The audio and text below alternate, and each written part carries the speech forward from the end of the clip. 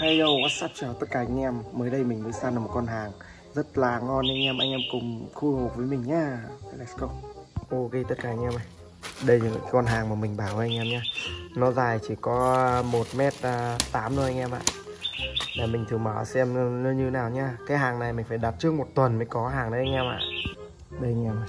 Cầm một tay mình không lấy được mình phải xé ra này. Nên bọc cũng khá là chuyên nghiệp anh em ạ. Rồi ơi. Con quả cần này chỉ có mét tám thôi anh em ạ. Đâu thử khui ra ở chỗ nào nhỉ? Ui May kín luôn anh em ạ. Đây nhìn này. Ồ. Đẹp chưa? Đẹp chưa? Ui. Ok, mình sẽ lấy ra cho anh em xem nào.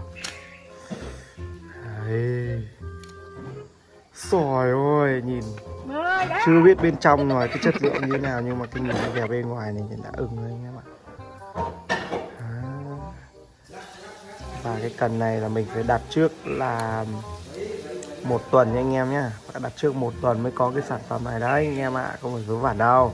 Rút ra xem mà nó như thế nào mà nó đáng để mình chờ đợi anh em nha hello anh em nha đây chính là cái cần mà mình mới săn được anh em ơi chưa? Đấy, sang well và cái sản phẩm này mình phải đặt ở bên uh, mình phải đặt ở bên nước ngoài.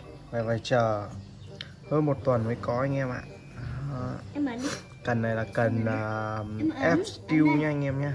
Cần FQ uh, A5 Để mình sẽ mở ra cho anh em xem nha. Wow. Cái vỏ của nó thì vỏ của nó nhìn thì rất là đẹp đấy nha anh em nhé. đây Mình thử rút ra nha anh em ơi. đây Đầu rút này.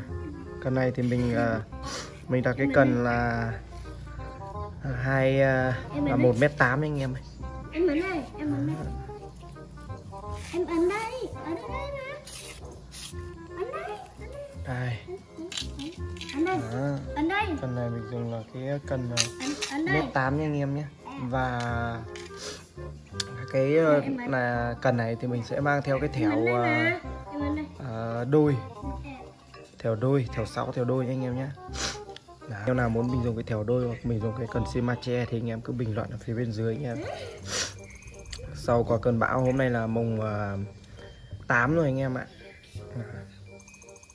Sau qua cơn bão mà anh em chúng ta mà đợi khi sau qua cơn bão thì à, mình sẽ đi câu nhé anh em nhé chỗ mình bây giờ nước nó đang rất là nhiều và không thể đi câu được anh em ạ. Đó. Để mình thu lại.